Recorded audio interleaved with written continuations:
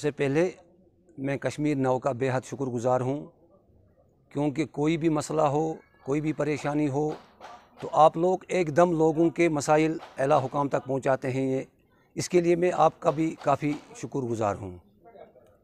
मसला इस तरह है कि मैं मुश्ताक अहमद मीर सनाफ मोहम्मद अनवर मीर, आर ओ जैनपोरा, मीर मोहल्ला वार्ड नंबर तीन का बाशिंदा हूँ। पिछले 20 साल से यहाँ पे, इस जगह पे जहाँ पे हम खड़े हैं, रिहाइश पजीर हूँ। चूँकि जो कुछ मैंने आपको बात करने से पहले दिखाया, जिसकी आपने फ़ोटोग्राफी भी की, आपने खुद भी देखा कि ये मेरे मकान के ऊपर दरख्त, अखरोट के पाँच दरख्त हैं, जो कि तकरीबन तकरीबन डेढ़ सौ, दो सौ साल पुराने हैं। बोसीदा हो चुके हैं पूरे, और 20 साल तक मैंने इनके मालिकान को जायज़ तरीके से बार बार कहा कि भाई इसकी शाख तराशी करवाएँ, ताकि मुझे कोई ख़तरा ना रहे, क्योंकि मैं भी बाल बच्चे वाला हूँ। अहलो अयाल वाला हूँ तो किसी ने मेरी बात नहीं सुनी। इन्होंने एक कान से सुनी बात और दूसरे कान से छोड़ दी और इस पर कोई रद्द अमल नहीं किया। इसमें कुछ माल, मालिकान ऐसे भी हैं कि जिन्होंने कहा कि भाई, जब भी कोई ऐसा कदम उठाओगे तो हमारे दो दरख्त हैं, इनको बिल्कुल शाख तराशी कर सकते हो, कोई एतराज़ नहीं है।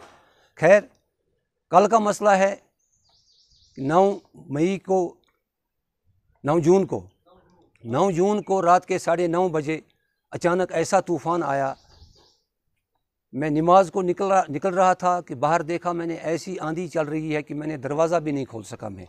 और ऐसे में एक या दो मिनट के अंदर ऐसा धमाका हुआ, ऐसा धमाका हुआ कि पूरी फैमिली की फैमिली इतनी डरी कि कोई खिड़की या दरवाज़ा हम खोल नहीं सके। लास्ट में जब थोड़ी सी आंधी रुक गई तो हम बाहर निकल गए तो मैंने देखा कि बाहर एक दरख्त, यानी कि जिस दरख्त का कोई अंदेशा ही नहीं था कि वो आके मेरे गेट के ऊपर या रफ़ीक अहमद खान के मकान के ऊपर गिर जाए।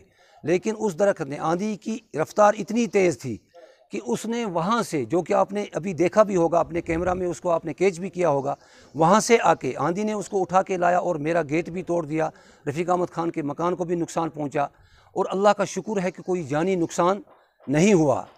लिहाजा मैं आपकी वसादत से अपनी इस बात को, अपनी इस फरियाद को अला हुकाम तक खसूस गवर्नर साहब तक, क्योंकि यहाँ पर कोई हुकूमत आज है ही नहीं कि हम किसी मिनिस्टर साहब के पास अपनी फरियाद लेके जाएँ।